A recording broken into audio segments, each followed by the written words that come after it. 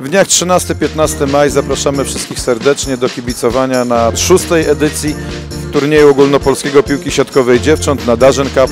Zawody odbędą się w trzech kategoriach wiekowych. W kategorii młodzi gramy w piątek, kategoria kadet, czyli dziewczęta 16-17 lat gramy ten turniej w sobotę oraz juniorki, które w wieku 18-19 lat, które zagrają w niedzielę.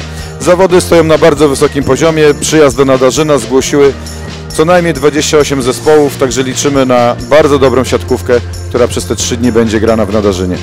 Podczas szóstej edycji Nadarzyn Cup zagoszczą u nas zespoły z województw podlaskie, podkarpackie, łódzkie, warmińsko-mazurskie, kujawsko-pomorskie oraz mazowieckie. Nie zabraknie także wielu medalistów Mistrzostw Polski. Turniej jest współfinansowany ze środków samorządu województwa mazowieckiego.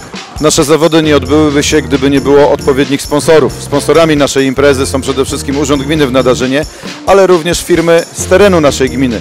Hetman, firma y, Serwis Daw Walendów, firma Skania Finance Polska, Skania Polska, Wanzl i wiele, wiele innych. Wszystkim tym sponsorom bardzo serdecznie dziękujemy. To dzięki Wam te dziewczyny będą mogły zaprezentować swoje umiejętności.